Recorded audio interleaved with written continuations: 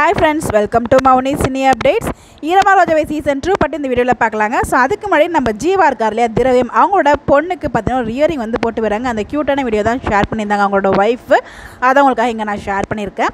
ஏன்னா எபிசோடில் ஆக்சுவலாக நான் வந்து நான் எப்பயும் வந்து இந்த ஃபைவ் டேஸ் எபிசோட்லேயே தான் வந்து மண்டே தான் காமிப்பாங்க அப்படிங்கிற மாதிரி நேற்றுமே சொல்லியிருப்பேன் நான் நினைக்கிறேன்.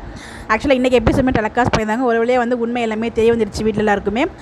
ஷங்கர் கூட்டு வந்து உண்மை எல்லாத்தையுமே சொல்லிடுறாங்க. ஸோ உண்மை சொன்னதுக்கப்புறம் வெளி வீட்டை எடுத்து துரத்துறாங்க. நானே அவளை அழைச்சி போய் பார்த்துக்கிறேன் அப்படிங்கிற மாதிரி சங்கருமே சொல்லிடுறாங்க. இந்த இடத்துல ஒட்டுமொத்த குடும்பமே வந்து ஐஸ்வர்யா திட்டுறாங்க. இந்த இடத்துல வந்து பார்த்திங்கன்னா நம்ம ஜீவாவோட மாமா வந்து நான் வீட்டை விட்டு வெளியே போகிறேன் அப்படிங்கிற மாதிரி சொல்லிட்டு இருக்காங்க. இன்றைக்கி ஃபுல்லாக வந்து ஒரு அழுகாட்சி சீன் தான் காமிச்சிருந்தாங்க. இல்லை நீங்கள் வெளிலலாம் போகக்கூடாது அப்படிங்கிற மாதிரி வந்து கொஞ்சம் எமோஷ்னலாக பேசியிருப்பாங்க அவங்க அப்பாவுமே.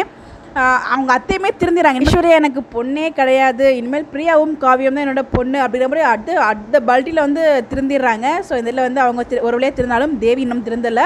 இன்னொரு விஷயம் நம்ம ஞாபகம் வச்சுக்கணும். நம்ம காவியாவுக்கு வந்து அபாஷன் ஆச்சு நம்ம எல்லாருமே நினச்சோம். அவங்க வந்து ட்ராவல் பண்ணதில் அந்த மாதிரி ஆயிடுச்சு அப்படின்னு சொல்லிட்டு ஆக்சுவலாக அது ரீசன் என்னன்னு பார்த்தீங்கன்னா தேவி வந்து அதில் ஒரு பிளான் பண்ணியிருப்பாங்க. பட் வந்து எனக்கு தெரிஞ்சு அது இடையில புகுத்திருப்பாங்க தான் நினைக்கிறேன் அந்த அதெல்லாம் ஞாபகம் வச்சாலும் உண்மையெல்லாம் கொண்டு வருவாங்களான்னு தெரியல. பிகாஸ் இந்த எபிசோட் வந்து எந்த எந்த நோக்கி போகிற மாதிரி தான் ஒரு ஃபீல் ஆகுது. ஸோ இந்த சேலுமே வந்து மேக்ஸிமம் பிக் பாஸ் முடியறதுக்குள்ளேயுமே முடிகிற மாதிரி ஒரு அப்டேட் நமக்கு கிடச்சிருக்கு. மேக்ஸிமம் ஜனவரி மந்த்தில் கூட எண்ட் ஆகணும் அப்படிங்கிற மாதிரி சொல்லியிருக்காங்க. பட் வெயிட் பண்ணி பார்க்கலாம் எப்படி ட்ராக் மூவ் பண்ணுறாங்க அப்படின்னு சொல்லிட்டு. அந்த உண்மையெல்லாம் தெரிய வந்து ஸோ ஒருவேளை எல்லாருமே திருந்தின மாதிரி தான் எபிசோட் மேக்ஸிமம் எண்ட் பண்ணுவாங்க. அர்ஜுனோட அப்பா வந்து அர்ஜுன் கிட்ட வந்து மன்னிப்பு கேட்குறாங்க நீ என் பிள்ளையா இல்லைனா உன் காலில் கூட விழுந்து மன்னிப்பு கேட்பான் அப்படிங்கிற மாதிரி சொல்லிட்டு இருக்காங்க. அந்த இடத்துல அர்ஜுன் சொல்கிறாங்க எல்லாம் நடந்து முடிஞ்சப்போ என்னோட வாழ்க்கையை பற்றி இப்போ என்ன என்ன நடக்க போது எனக்கு ஒன்றுமே புரியவே இல்லை அப்படிங்கிற மாதிரி அவரோட பக்கம் ஃபீல் பண்ணிட்டு இருக்காரு. என்னோட நம்மளோட எல்லாரோட கேஸுமே அதாக இருக்கும். இதுக்கப்புறம் அர்ஜுனுக்கும் சக்திக்கும் மேரேஜ் பண்ணி வைப்பாங்களா இருக்கும். பட் ஆனால் இது இந்த பொறுத்த வரைக்கும் தேவையில்லாத ட்ராக் தான்.